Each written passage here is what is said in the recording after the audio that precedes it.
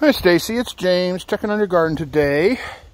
Your delicata squash is trying to run away, so I did a little, we got patty pans in here too. There's a nice little patty pan, and there's a delicata in here somewhere. I just saw it. There it is. There he is. Um, tomatoes looking really good.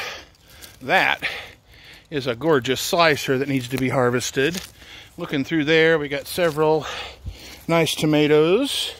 Another small one there. Got a big slicer right there. Holy cow, that thing's huge.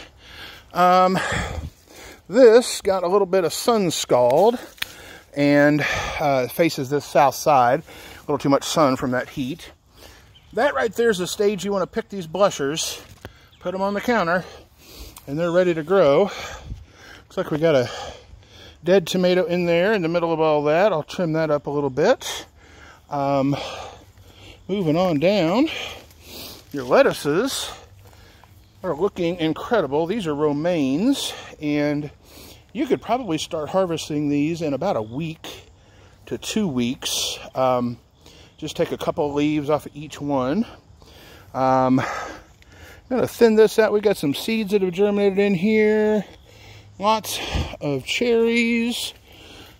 Again, with the cucumbers, they're just about done. I'll probably pull them my next visit. But these big yellow ones, uh, just peel them, and they're pretty sweet on the inside.